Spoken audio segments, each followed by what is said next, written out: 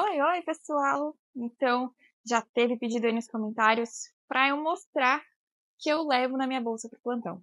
Essa minha bolsa, ela vai pro plantão, ela vai pro consultório, ela vai para todos os lugares. E eu acabei de chegar no consultório, nem mexi nela, tá uma bagunça, mas eu vou mostrar tudo que tem dentro dela. Primeiro, vou mostrar ela em si, tá? Ela é da Schutz, enorme zona, com essas taxas em dourado. E ela fecha com imã, tanto aqui nas laterais quanto aqui no fecho do meio. E mesmo quando ela tá bem cheia, ela fecha o fecho do meio. E eu posso deixar, inclusive, ela mais assim se eu quiser. Tá? Vou mostrar ela para vocês vazia depois também. Bom, vamos lá então. O que temos aqui dentro? Primeira coisa, meu esteto. Ele fica aqui.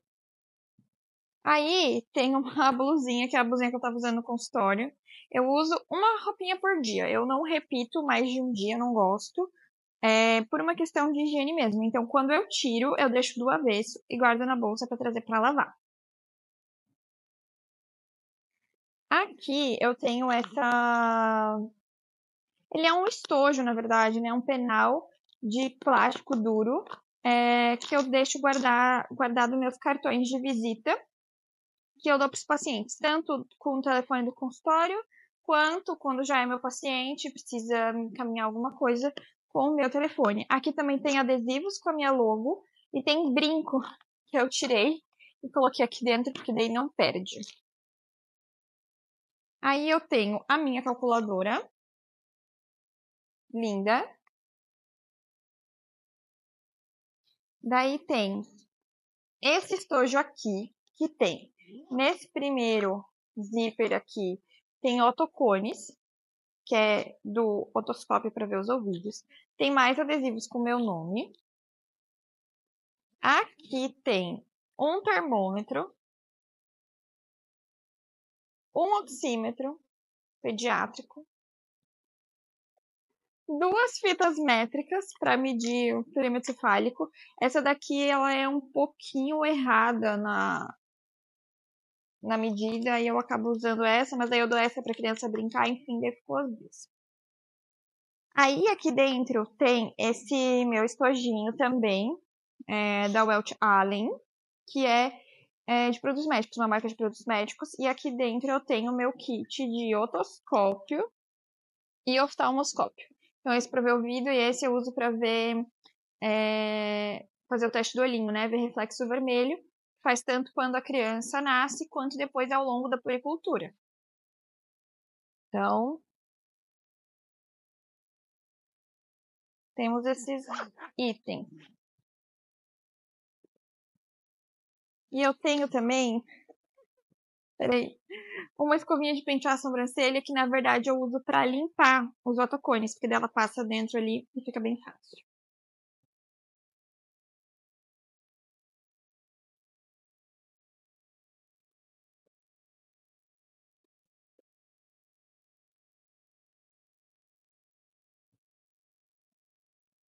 Bom, aí aqui tem a minha agenda. Aqui eu anoto só coisas pertinentes, não uso exatamente como um planner, uso mais para fazer checklists, para anotar é, questões financeiras, tem alguma coisa de pagamentos, de recebimento, de salários, enfim. Tudo fica anotado aqui. Mas como planner em si não tenho usado tanto. Aí eu tenho essa outra necessarzinha. Aqui é tipo assim, ó, meu kit de sobrevivência de urgência e emergência. Tem carefree, assim, né? Esses absorventes fininhos. Tem um pó. Tem uma escova de dente. Eu sempre deixo uma calcinha bem tipo.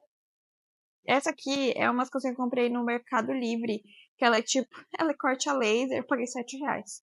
E aí, essas calcinhas são as que eu deixo sempre, tipo, em bolsas de emergência. Tem um blush, tem uma pasta de dente. E tem um perfuminho que também fica dentro da minha bolsa. Tipo, se eu precisar ficar no plantão, se acontecer alguma coisa, se eu precisar dormir, sei lá. Tá aqui tudo pronto. Pra eu conseguir tomar um banho e ficar decente. Aí eu tenho essa outra necessaire grande. Que essa aqui, isso aqui vai aqui dentro. E se eu precisar, o meu otoscópio também vem pra cá.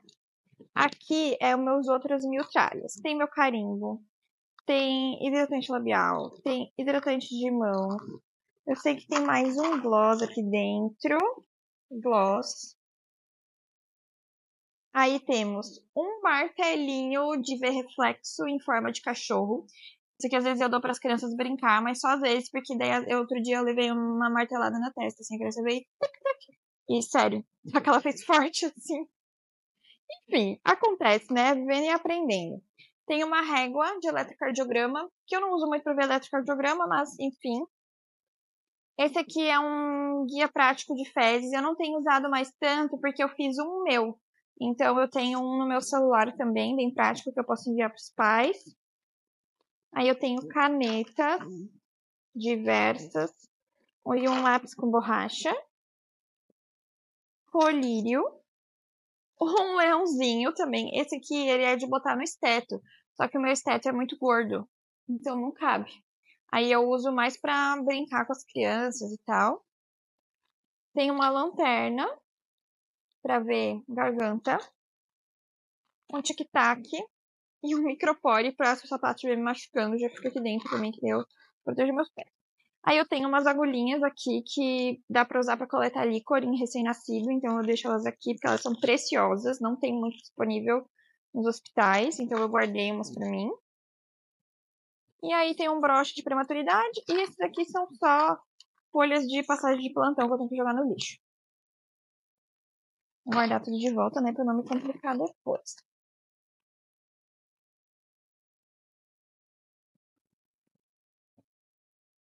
Bom, daí, quando eu vou pro consultório, eu levo maquininha de cartão.